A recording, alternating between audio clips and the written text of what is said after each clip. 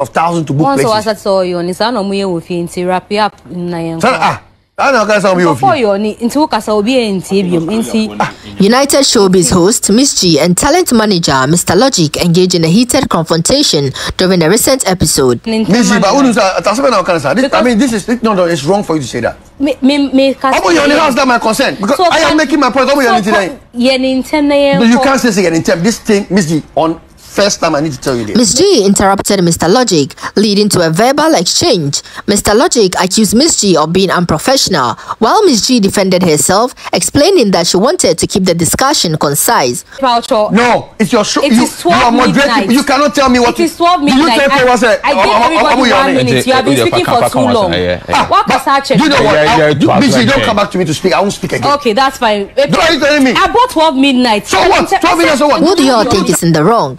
Leave your comments in the comment section. Do like the video.